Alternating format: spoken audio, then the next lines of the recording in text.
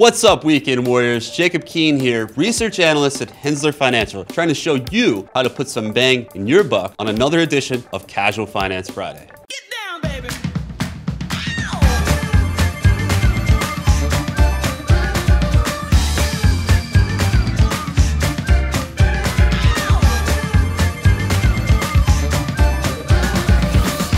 It's been nearly a millennia since you had to worry about one of your neighbors hoisting a battering ram and smashing down your door to steal your wheat and iron ore. Or maybe you do worry about this. Maybe you're the guy with the pet gators and a drawbridge who can just tune out now when I start talking moats. You already know what you're doing economic moats. The mechanisms in which businesses fend off their foes are a key topic when we analyze stocks here at Henssler. They come in a number of different forms, which I plan to discuss, but most importantly, they give you a margin of safety, stability, and usually returns well in excess of the cost of capital for your investments. What do I mean by this?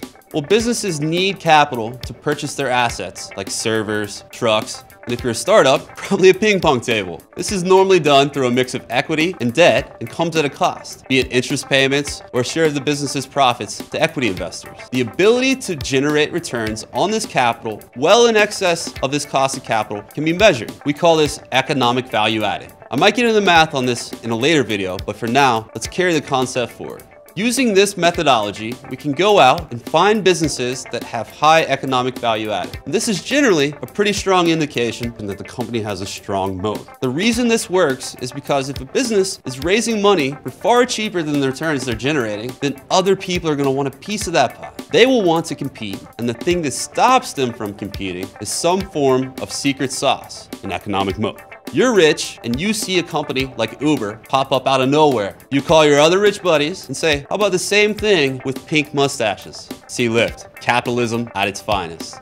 So beyond somewhat complicated cost of capital calculations, how do we identify and invest in companies with strong moats? The form of a moat can come from size, it's hard to jump over, cost, it's cheaper to dig, intangibles, sharks with freaking laser beams, or switching costs. I couldn't think of a metaphor for this.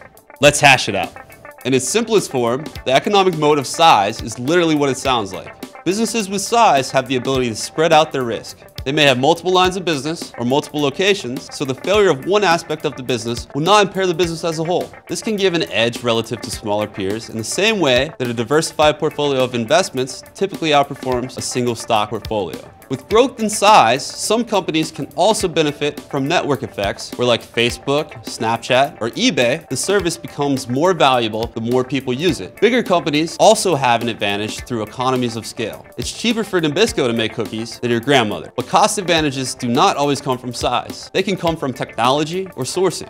I remember a story of an engineer at UPS that rewrote their routing program to take as many right turns on red as possible. This saved them a ton on gas, reduced costs and idle time, and would be a good example of a technological process advantage. For an example of sourcing, a maple syrup plant in Vermont would have a resource advantage over one in Nevada, which is probably why they aren't making syrup in Nevada. They seem a little more focused on other industries.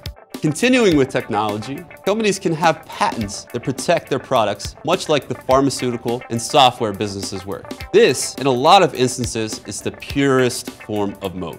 Typically, these products command a premium relative to the competition. Think cancer drugs and iPhones. Patents do expire, however, so when looking towards firms with a technological moat, make sure that their research and development spending is continuing to bolster this advantage. The patents a company holds fall under intangible assets, but intangibles can come in another form, branding. Think of some of the commoditized businesses like apparel and food that are dominated by iconic brands. The swoosh, the golden arches, the polar bear. These, believe it or not, are moats backed by decades of ad spend that make Nike, McDonald's, and Coca-Cola nearly impossible to compete with at scale. Lastly, and perhaps most annoyingly, a business can have high switching costs. Anyone who has dealt with a telecom company like Comcast or AT&T has probably felt this pain, but there are more nuanced ways in which this occurs. Think about the millions of businesses that have run off the Microsoft Office suite for decades, and the burden they would experience in trying to switch over to something else, like the Google suite.